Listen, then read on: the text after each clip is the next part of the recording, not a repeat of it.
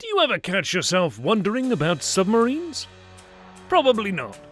Of all the modern and even past common forms of transportation, submarines definitely don't rank very high up in terms of how often the average person uses them. And, since we didn't even see submarines that frequently, it's probably not very likely that you'd be wondering about how they work. But now you are. Have you ever thought about how long a submarine can stay underwater? The answer to this question is a bit more complicated than just a set amount of hours or days. This is because not only does the duration depend on multiple factors within the submarine, but it also depends on the type of submarine that's being used. For example, in the United States Navy alone, we see three main types of submarines attack subs, ballistic missile subs, and cruise missile subs. This, of course, doesn't include other types of submarines that are utilized outside of the military, such as deep submergence vehicles or DSVs. So, with so many different kinds of submarines, are they all created equal? How long can each type stay underwater? Well, before we answer that, let's take a look at what determines how long any submarine can stay underwater. For one, the method of power plays a huge role. In modern times, nuclear powered submarines have become the preferred option because they're more reliable and longer lasting than diesel alternatives in a wider variety of circumstances. The limitation factor on the time for which a modern nuclear submarine can stay submerged is not air, but food and other crew supplies Theoretically, a modern nuclear submarine can stay submerged indefinitely because its onboard water distillation system makes oxygen from ocean water and also desalinates water for drinking. It only needs to surface for taking on food and other supplies when they run out. Although a diesel submarine could potentially last underwater for the same amount of time, unlike their nuclear counterpart, diesel subs require the use of a snorkel mast that allows for their air breathing engine batteries to be recharged.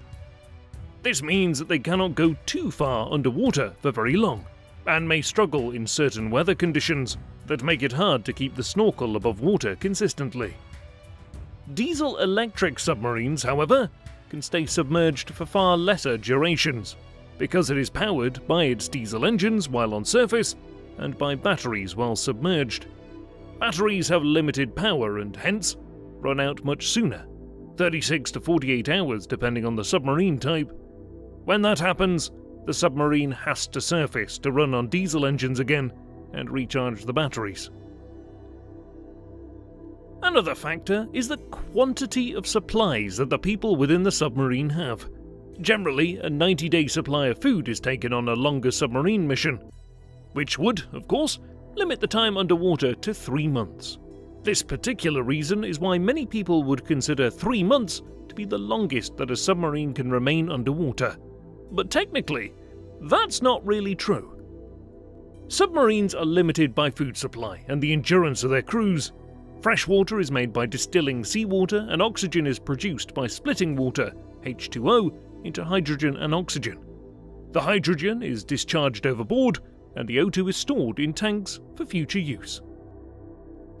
CO2 is removed from the air using an amine based scrubber or by using lithium canisters, an old school method that is still used in emergencies. Any extra gases like carbon monoxide or hydrogen are turned into water vapour by a carbon dioxide slash hydrogen burner.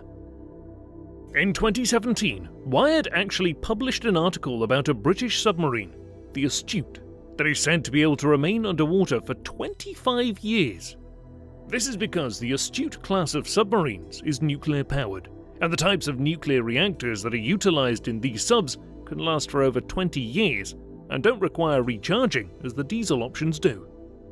Britain isn't the only place where these nuclear submarines can be found, though. The US Navy now uses nuclear instead of diesel, and some of those subs can supposedly last for over 30 years underwater. France, Russia, China, and India all use nuclear submarines as well, although the latter two are unable to build their own and instead purchase from Russia. So, with the availability of nuclear submarines, it appears that there isn't really a hard limit for when a submarine would need to come to the surface. For diesel, As long as the sub is able to use its snorkel mast, the time limit seems unclear as well. But there still remains the factor of food supplies for the crew, of course, which isn't so easy to resolve. This is why the general estimate for how long a submarine can remain underwater is normally said to be 90 days, with usually around 110 days given as an absolute maximum. Although this may seem slightly disappointing, it's still major progress compared to the history of submarines, and even just since the technology of World War II. The average American submarine during the Second World War could actually only stay underwater for roughly two days, generally beating out even the Type 7 German U boat. The German Type 21 was technically able to stay underwater for a consecutive 75 hours, but only two of these boats ever made it to sea in the final year of the war. These, of course, as with all the previous examples, are still not even guarantees. So many details, such as the submarine's activity while underwater, have an impact on its ability to remain submerged. But nonetheless, there has been clear and significant progress over the past century. What does this mean for the future of submarines?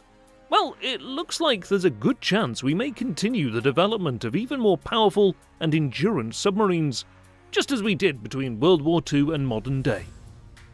While the main key to extending the span of submarine expeditions may rely specifically on finding ways to store more food supplies on each vessel instead of having to increase the endurance of the submarine itself. It's nevertheless a challenge that must be overcome if we want to actually send a submarine underwater for a year, let alone over 20.